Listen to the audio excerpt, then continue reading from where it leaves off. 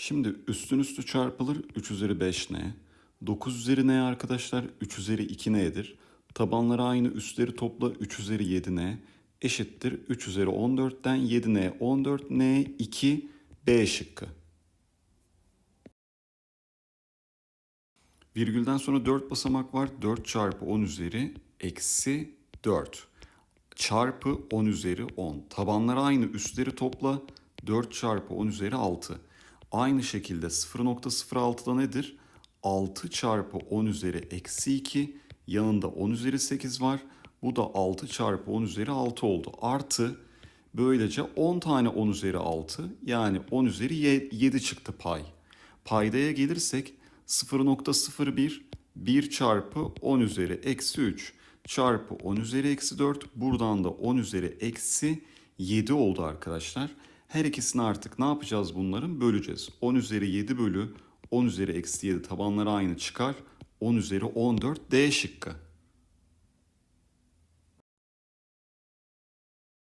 Üstleri küçük olana bakmamız lazım. 3 üzeri eksi 102 parantezinde düşüneceğiz. Mesela diğeri de nedir?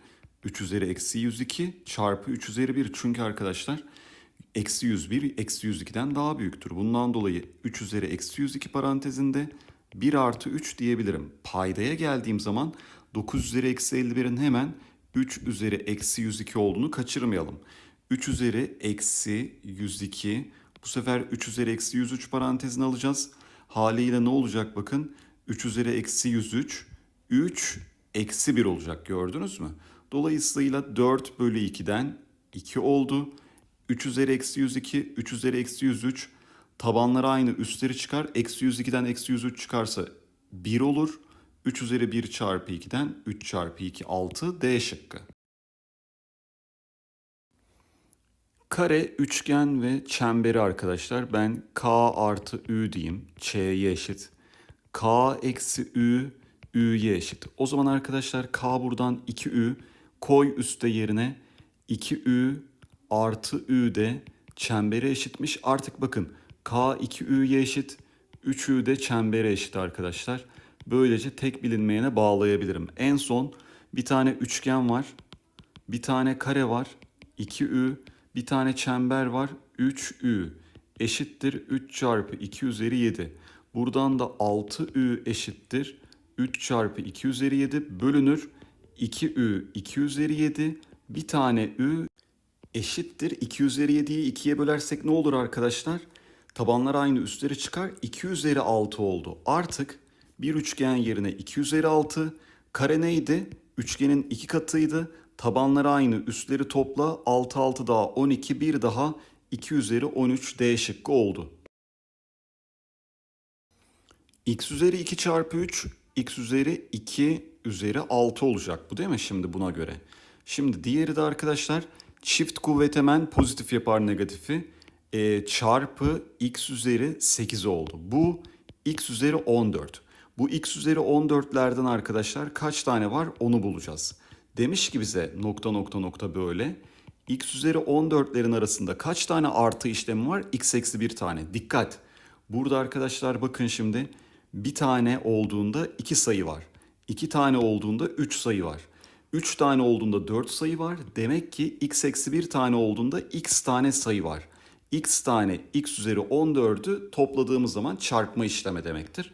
Buna göre toplarsak tabanlar aynı üstler toplanır. x üzeri 15 D şıkkı olur. 3 üzeri a eksi 1, 3 üzeri a artı 1. Nedir bu arkadaşlar? 2 kare farkı. 3 üzeri 2a eksi 1'in karesinden böyle. Sonra 9 üzeri a artı 1 nedir? 3 üzeri 2a artı 1. Bu da yine 2 kare farkı. Çarptığımız zaman 3 üzeri 4a eksi 1 çünkü 2a'nın 2 katı arkadaşlar 4a olacak. Demek ki bu da 8'e eşitmiş. Buradan 3 üzeri 4a eşittir 9. 3 üzeri 4a eşittir 3'ün karesi. A bakın ne geldi? 1 bölü 2 A şıkkı. Soru aslında arkadaşlar bir üstü sayı sorusu. Başlangıçta bir birim, bir parça. Birinci durumda iki parça. İkinci durumda dört parça yani ikinin karesi. Üçüncü durumda sekiz parça yani ikinin kübü. O zaman arkadaşlar bu üçe ayrılsaydı böyle Bakın bu şekilde. Şöyle, şöyle, şöyle. Ne olacaktı o zaman? Başlangıçta da zaten bir parça. Birinci adımda arkadaşlar 3 parça. İkinci adımda 3 üzeri 2. Üçüncü adımda 3 üzeri 3. Dördüncü adımda 3 üzeri 4. Ben tek tek yazdım da direkt dördüncü adıma 3 üzeri 4 diyebilirsiniz. Böylece 27 üzeri 3 gram olan şey kaç parçaya ayrıldı? 3 üzeri 4 parçaya. Bir parça kaç grammış buna göre? 3 üzeri 9 bölü 3 üzeri 4'ten 3 üzeri 5 yani B şıkkı arkadaşlar. Şimdi bunu daha kolay çözmek için şöyle bir hamle yapacağım. 2 üzeri 1 eksi x ya payda da olmasını onun çok sevmedim. İsterseniz payda eşitleyebilirsiniz. Ya, hatalı olmaz ama ben şöyle yapacağım. Bu ters çevrilmiş bir şey ya. Ben bunu 2 üzeri x eksi 1 yapayım. Gördüğünüz gibi tabanlar şey tabanlar diyorum pardon. 2 üzeri eksi a ne demekti çünkü? 1 bölü 2 üzeri a demekti. Bundan dolayı 1 eksi x'i bak x eksi 1 yaptım. Şimdi artık bunların toplamı 2 üzeri x'ten kaç tane var? 2 üzeri 2'den 4 tane. 2 üzeri x'ten kaç tane var? Böyle bölü 2. Dolayısıyla 2 üzeri x parantezinde 4 artı 1 bölü 2. 9 bölü 2. Bu da 72'ye eşit. Bunlar sadeleşti 8 oldu. 2 üzeri x bu tarafa atarsak 16. X de buradan 4 oldu. C şıkkı. A kare eksi B kare neye eşit arkadaşlar? A eksi B çarpı A artı B. Şimdi A eksi B 2 üzeri 10 artı 2 üzeri eksi 10 eksi 2 üzeri 10 artı 2 üzeri eksi 10. Sonra diğerine gelirsek 2 üzeri 10 artı 2 üzeri eksi 10 artı olduğu gibi 2 üzeri 10 eksi 2 üzeri eksi 10. Böylece neler burada gitti? 2 üzeri 10 ve 2 üzeri 10'lar gitti. 2 üzeri eksi 10'dan 2 tane kaldı. Sonra arkadaşlar burada da neyler gitti? 2 üzeri eksi 10'lar gitti. 2 üzeri 10'dan 2 tane kaldı. Bunlar birbirini götürdü. 2 çarpı 2'den cevabımız 4. C şıkkı. Virgülden sonra kaç basamak var? 1, 2, 3, 4, 5. Haliyle şunu yazacaksınız arkadaşlar. 51 çarpı 10 üzeri eksi 5. Aşağısı ne? 17 çarpı 10 üzeri eksi 5 ne güzel gitti. Böylece 51 bölü 17'den 3 oldu. Şimdi sol taraf 3 üzeri 3x eksi 1. Geliyorum sağ tarafa. 12 çarpı virgülden sonra kaç basamak var? 3. 12 çarpı 10 üzeri eksi 3. Çarpı 10 üzeri 3. E bunlar birbirini ne güzel götürdü. Eksi 3 artı 3 0 yapar. 10 üzeri 0 1'dir. 3 bölü 4'ün tersi nedir matematikte? Eksi 1 ile gösterilir. O yüzden 3 bölü 4'ün eksi birinci kuvveti 4 bölü 3 yapar. Şimdi yine 12'yi tabi 4 bölü 3'e bölerken de yine ters çevireceğiz. Böylece 3 çarpı 3'ten 9 olacak. 3 üzeri 3x eksi 1 eşit oldu. 9 üzeri x artı 2'ye. Buradan da arkadaşlar 3 üzeri 2x artı 4 oldu. Bak 9'u nasıl yazdım? 3'ün karesi diye. Burası zaten 3 üzeri 3x eksi 1. Böylece 3x eksi 1 eşittir 2x artı 4. x eşittir arkadaşlar 5. B şıkkı. Şimdi bir tanesinin ağırlığı 8 üzeri 3 gram arkadaşlar. Ve sayı olarak da şunu demiş. Her e, sağdaki soldakinin arkadaşlar 16 katına eşitmiş. Diyelim burada x tane varsa burada 16 x tane var. Burada 16'nın karesi olacak. Çünkü bir daha 16 katı olacak ya. Haliyle böyle gittiğimiz zaman en sonuncusunda kaç kat olur? 16 üzeri 9 olur. Neden peki 16 üzeri 10 değil? Çünkü bakın ikincisinde 16 katı, üçüncüsünde 16'nın karesi kadar katı. O zaman gerçekten burada da üstü 1 eksik olacak 10'dan.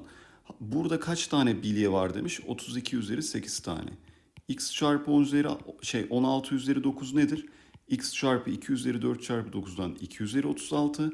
32 2 üzeri 5'ten böylece 2 üzeri 40. Buradan da 2 üzeri 40 bölü 2 üzeri 36'dan demek ki 2, 2 üzeri 4'müş arkadaşlar x. 5 numaralı kutuda kaç tane olur o zaman? 2 üzeri 4 çarpı 16'nın 4. kuvveti katı kadar olur. Çünkü ne demiştik? Üstün e, oradaki numaranın 1 eksiği kadar üstü. 2 üzeri 4 çarpı 2 üzeri 4 çarpı 4'ten 16 2 üzeri 20 tane var. 2 üzeri 20 tane ve 8 üzeri 3 gram her biri. Demek ki aslında o da 2 üzeri 9 yapıyor. 2 üzeri 29 gram B şıkkı. Önce şu 16 üzeri 2, 250 üzeri x'i bir düzenleyelim. 2 üzeri 4'ün karesi 2 üzeri 8. 250. E, bu da arkadaşlar ne olur? 2 çarpı 125 yani 2 çarpı 5 üzeri 3. Böylece 2 üzeri 9 çarpı 5 üzeri 3. Bir de arkadaşlar unutmayalım 2 çarpı 5 üzeri 3'ün x'inci kuvveti ne demektir? Üstleri dağıt 2 üzeri 9x çarpı 5 üzeri 3x arkadaşlar. Şimdi 10 üzeri x'i ben burada yakalarım. Nasıl biliyor musunuz?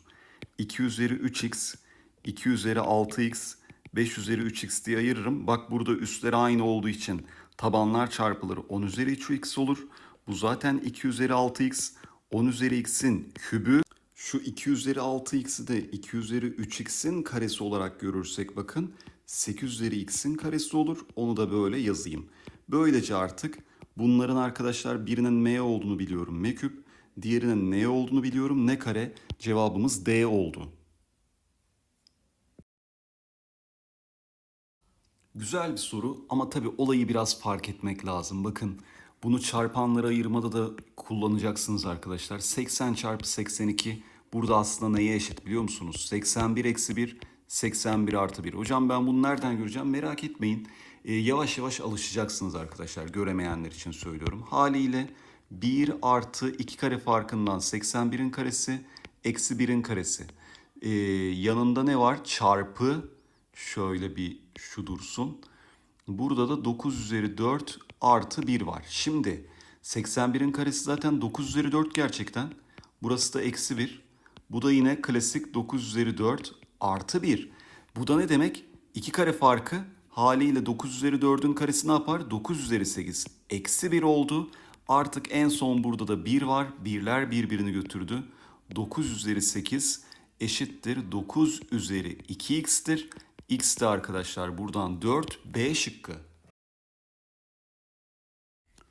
A'dan B'ye doğru 72 metre hızla 25 dakika hareket ediyoruz ya. Saatteki hızı 72 metre olduğu için hız problemleri de de göreceksiniz. Bilmeyen arkadaşlar için söyleyeyim. X eşittir V çarpı T'dir. Alınan yol Yalnız burada birimler önemlidir arkadaşlar. Saatte 72 metre alıyoruz ya dakikayı saate çevireceğiz. Yani 25'i 60'a böleriz. Böylece buradan da 60'ı 12'ye bölsek 5 yapar. 25'i 5'e bölsek 5. Bunu 12'ye bölsek 6. 30 metreymiş aldığı yol. O zaman ben bütün soruyu metre cinsinden yapayım. Şimdi 0.06 ne demek aslında? 6 çarpı 10 üzeri eksi 3. Burası arkadaşlar virgülden sonra 3 basamak var. 10 üzeri 8 6 çarpı 10 üzeri 5. Ne söyleyeceğim şimdi ben burada? 10 üzeri 5'te arkadaşlar milimetre bu. Önce santime çevireyim daha kolay olsun. E, 10 milimetre 1 santimdir. Dolayısıyla 10'a bölersek 6 çarpı 10 üzeri 4 santim olur. 100 santim de 1 metredir. O zaman 100'e bölersek 6 çarpı 10 üzeri 2 yani 600 metreymiş bu AB arasındaki uzaklık. Ne kadar hareket edildi A'dan B'ye? 30 metre daha. Demek ki kalan mesafe artık arkadaşlar 570 metre oldu. Biz burada x çarpı 10 üzeri eksi 2 kilometre olduğunu biliyoruz. 1000 metre 11 kilometre. O zaman burayı hemen 1000 ile çarparım. Böylece ikisi de metre olur. 1000 ile çarptığım zaman bu 10 üzeri eksi 2 100'e bölmek demek 10 oldu. x çarpı 10 bunlar gitti. 57 eşittir x geldi arkadaşlar. Sorumuzun cevabı C şıkkı. Başlayalım işlemleri. 18 üzeri a artı 1'i 2a ile çarparsak 18 üzeri a artı 1 çarpı 2 üzeri a. Şimdi 18 üzeri a çarpı 18 2 üzeri a'dan üstleri aynı tabanları çarp 36a çarpı 18 olur. Bunu sonra 12 üzeri a'ya bölecekmişiz. 12 üzeri a'ya bölersek üstler aynı tabanları böl 3 üzeri a çarpı 18. Sonra bir de 54'e bölecekmişiz. 54'e böldüğümüzde 3 üzeri a bölü 3 olacak. Ve bu en başa döndük geri 18 üzeri a artı 1 oldu.